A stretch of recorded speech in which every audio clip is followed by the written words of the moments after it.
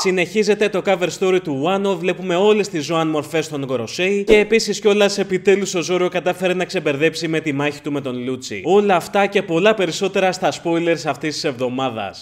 Γεια σου όλους είμαι Γιλγαμές και σήμερα μόλις κυκλοφόρησαν τα spoilers για το κεφάλαιο 1110 του One Piece οπότε εννοείται πως εγώ είμαι εδώ όπως και κάθε εβδομάδα για να τα διαβάσω και να τα αναλύσω όσο καλύτερα μπορώ. Να πω ότι το συγκεκριμένο βίντεο δυστυχώς δεν θα είναι στη μορφή την οποία έχετε συνηθίσει όλον αυτό τον καιρό. Δεν θα μπορέσω δηλαδή να κάνω αυτό το μοντάζ που κάνω με τα πολλά κοψίματα και τις διάφορες εικόνες που βάζω στο βίντεο. Κυρίως γιατί είμαι μόλις δύο μέρες μετά από το χειρουργείο που έκανα στη μέση οπότε δεν μπορώ καθόλου να κάτσω σε αυτή την καρέκλα. Ωστόσο όμως εννοείται πως δεν μπορούσα να σας αφήσω χωρίς βίντεο και ειδικά όταν τα spoilers είναι τόσο γαμάτα. Οπότε το μόνο που ζητάω από εσάς είναι άμα μπορείτε να κάνετε λίγη υπομονή μέχρι να καταφέρει να υπολωθεί η πληγή που έχω. Αφού είπα και το disclaimer του βίντεο, λοιπόν δεν θα τραβήξω όλη αυτή την εισαγωγή. Οπότε πάμε κατευθείαν να ξεκινήσουμε να διαβάζουμε τα πολύ γαμάτα spoilers αυτής της εβδομάδας.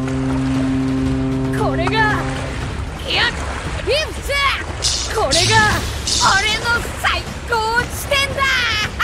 Καταρχάς να πω ότι τα spoilers που έχουμε μέχρι στιγμής τουλάχιστον δεν είναι και πάρα πολλά σε ποσότητα. Ωστόσο όμως παρόλο που είναι λίγα σε ποσότητα, τα spoilers είναι πραγματικά πολύ γαμάτα. Όσον αφορά το εξώφυλλο αυτού του κεφαλαίου, δεν βλέπουμε κάποια πληροφορία μέχρι στιγμής. Αν και όπως θα δούμε και αργότερα, φαντάζομαι ότι αυτό θα σχετίζεται άμεσα με τους υπόλοιπους Γκοροσέοι που ήρθαν στο νησί του μέλλοντος. Και από ό,τι βλέπω, τα spoilers ξεκινάνε κατευθείαν με το cover story αυτής της εβδομάδας. Άμα θυμάστε, την προηγούμενη εβδομάδα ξεκίνησε ένα καινούριο cover story στο οποίο βλέπαμε διάφορα γεγονότα στο Wano. Και αυτή την εβδομάδα συγκεκριμένα αλλάζουμε σκηνικό στο Wano και ακολουθούμε το ταξίδι της Γιάματο. Η Γιάματο είχε μετανιώσει τη μεγάλη απόφαση που είχε πάει να πάρει και δεν ακολούθησε ποτέ τον Λούφι και το πλήρωμα στο ταξίδι τους. Και η δικαιολογία της για αυτή την αλλαγή στην απόφασή της, άμα θυμάστε, ήταν ότι ήθελε να εξερευνήσει περισσότερο τη χώρα του Wano. Από ό,τι φαίνεται λοιπόν σε αυτό το cover story θα δούμε την αρχή αυτού του ταξιδιού της Γιάματο και αναρωτιέμαι κιόλας άμα στα επόμενα κεφάλαια θα το δούμε να ανακαλύπτει διάφορα σημαντικά πράγματα στη χώρα του Wano. Το προηγούμενο κεφάλαιο το μεταξύ, άμα θυμάστε, τελείωσε με την άφηξη των υπόλοιπων κοροσέη στο νησί του μέλλοντος. Συγκεκριμένα όχι μόνο θα ξεκινήσει μια πολύ γαμάτη μάχη σε αυτό το κεφάλαιο ενάντια στους Γκοροσέι και τον Λούφι, αλλά παραδόξως πολύ γρήγορα σε αυτό το κεφάλαιο θα μάθουμε και ακριβώς το πώς μοιάζουν οι ζωάν μορφές τους. Όπως όλοι μας περιμέναμε και όπως είχα αναφέρει και στα περισσότερα μου βίντεο, εννοείται πως όλοι οι Γκοροσέι έχουν κάνει awaken τα φρούτα τους, και αυτό μπορούμε να το διακρίνουμε καθώς έχουν αυτά τα μαύρα σύννεφα γύρω-γύρω από το λαιμό τους. Αυτά τα σύννεφα προς το παρόν τουλάχιστον από ό,τι φαίνεται στην ιστορία τα έχουν μόνο οι χαρακτήρες που έχουν κάνει awaken τα ζωάν φρούτα τους, και εφόσον είχε καταφέρει να το κάνει awaken ο Σάτουρν, εννοείται πως θα το είχαν καταφέρει και οι υπόλοιποι Γκοροσέι.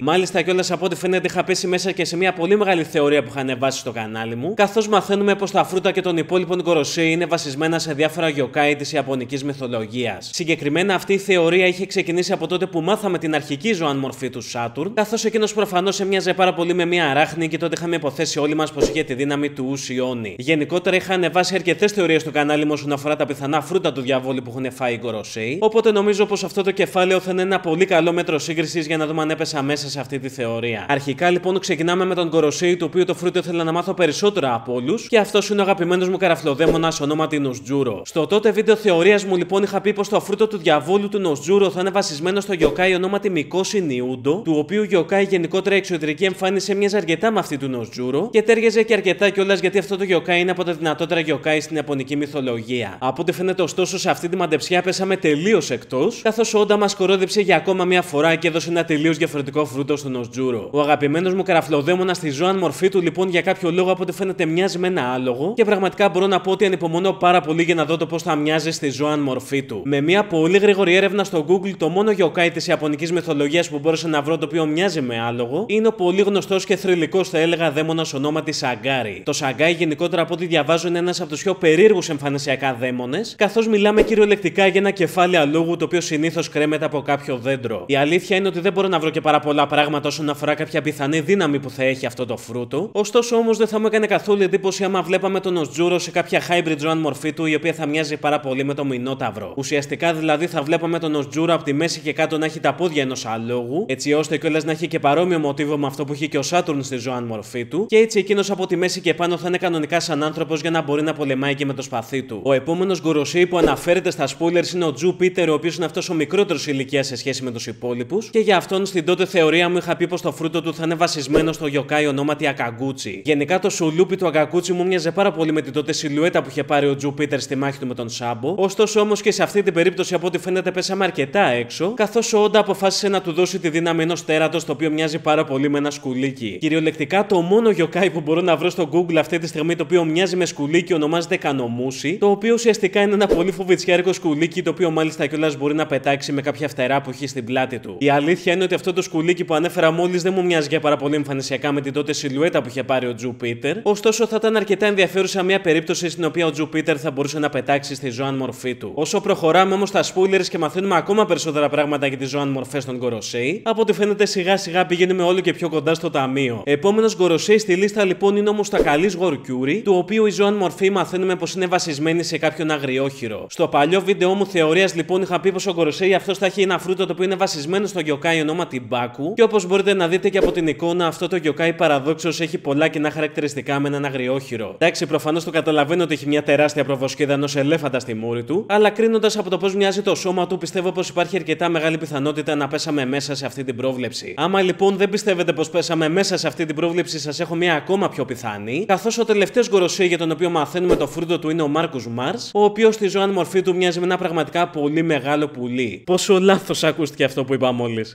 Στο παλιό μου βίντεο λοιπόν είχα προβλέψει πως αυτός ο Γκοροσέη θα έχει φάει ένα ζώαν φρούτο το οποίο είναι βασισμένο στο γιοκάι ονόματι Ιτσουμάντε και με λίγα λόγια το βασικό χαρακτηριστικό του τέρατος Ιτσουμάντε είναι ότι αυτό πηγαίνει όπου υπάρχει δυστυχία και θάνατος. Προς το παρόν λοιπόν δεν έχουμε την παραμικρή εικόνα από τα spoilers όσον αφορά το πώς ακριβώς μοιάζουν αυτές οι ζωάν μορφές. Ωστόσο από τις λίγες πληροφορίες που έχουμε μέχρι στιγμής φαντάζομαι ότι έχουμε πετύχει τα δύο από τα τέσσερα φρούτα. Όπως ανέφερα και προηγουμένως λοιπόν τα spoilers μας λένε πως όλα αυτά τα φρούτα είναι βασισμένα σε διάφορα yokai και μάλιστα κιόλας οι Gorosei με το που φτάνουν φτάνουν στο νησί του μέλλοντος επιτίθονται κατευθείαν στον Λούφι. Προς το παρόν λοιπόν από τα spoilers που έχουμε δεν μαθαίνουμε το πώς ακριβώς αντιδράει ο Λούφι σε αυτή την επίθεση. Όπως επίσης και το άμα τρομάζει όταν βλέπει όλα αυτά τα πολύ τρομακτικά τέρατα μπροστά του. Ωστόσο όμως αυτό που μαθαίνουμε σίγουρα από τα spoilers είναι ότι ο Ντόρι και ο Μπρόγκι εμφανίζονται σε αυτή τη μάχη και σώζουν τον Λούφι. Από ό,τι φαίνεται λοιπόν οι Gorosei δεν πρόλαβαν ακόμα να κάνουν κάποια σοβαρή ζημιά στο σώμα του Λούφι και μάλλον σε αυτό ή ακόμα και στο επόμενο κεφάλαιο θα δούμε τους γίγαντες να ξαναενώνονται με το Λούφι και να πολεμάνε όλοι μαζί ενάντια στους Gorosei. Επίσης κιόλας να πω ότι είμαι πάρα πολύ χαρούμενος με αυτό το κεφάλαιο, γιατί επιτέλους μαθαίνουμε το πώς κατέληξε η μάχη του Ζόρο με τον Λούτσι. Εδώ και αρκετές εβδομάδες όλοι βλέπουμε αυτή τη μάχη να τραβιέται πολύ περισσότερο από ό,τι πιστεύαμε, και γι' αυτό κιόλας εγώ γκρίνιαζα σε κάθε βίντεο που έκανα. Κυρίως γιατί πίστευα πως ο Ζόρο θα είχε πολύ εύκολα τον Λούτσι σε μία μάχη εφόσον έχει φτάσει σε τόσο μεγάλο επίπεδο. Από ό,τι φαίνεται λοιπόν στο κεφάλαιο αυτής της εβδομάδας επιτέλους θα δικαιωθούμε όλοι μας, καθώς ο Ζόρο μετά από πάρα πολύ καιρό κατάφερε επιτέλους να κερδίσει τον Λούτσι. Προς το παρόν βέβαια δεν μαθαίνουμε το πώς ακριβώς κατέληξε ο Ζόρο να τον κερδίζει, ωστόσο όμως μη σας κάνει καθόλου εντύπωση άμα στα επόμενα κεφάλαια ο πρασινομάλλης ξιφομάχος πάει να βοηθήσει τον καπετάνιο του. Όπως και να έχει, παιδιά, αυτά ήταν όλα τα spoilers που έχουμε προς το παρόν για αυτή την εβδομάδα. Και εννοείται πως την επόμενη εβδομάδα το manga δεν θα έχει διάλειμμα. Θα κλείσω πολύ γρήγορα αυτό το βίντεο για να πάω κατευθείαν να το κάνω μοντάζ και να τα ανεβάσω όσο πιο σύντομα γίνεται. Οπότε μην ξεχάσετε να μου γράψετε όλοι στα σχόλια τις γνώμες σας για αυτό το κεφάλαιο. Σίγουρα θέλω πολύ να μου γράψετε τη γνώμη σας για το πώς σας φαίνονται τα φρούτα του διαβόλου που έχουν φάει οι Γκοροσέη. Και θέλω να δω κιόλας πόσοι από εσάς ανυπομονείτε για να δείτε αυτή τη μεγάλη μάχη ενάντια στους 5 γέροντες. Άμα σου άρεσε αυτό το βίντεο, λοιπόν, μην ξεχάσεις να κάνεις μια εγγραφή στο κανάλι μου για να μην χάσεις και τα μελλοντικά μου βίντεο. Και κάπου εδώ είναι πολύ καλή στιγμή για να ευχαριστήσω τα μέλη του καναλιού για την τεράστια υποστήριξή τους. Αυτά είχα να πω εγώ λοιπόν και εμείς θα τα πούμε σε κάποιο άλλο βίντεο. Γεια σας. Όλους τους παίζω στα ίσα. Εγώ φλόγα μέσα από το σώμα μου, το δάχτυλό μου πιστόλι έχει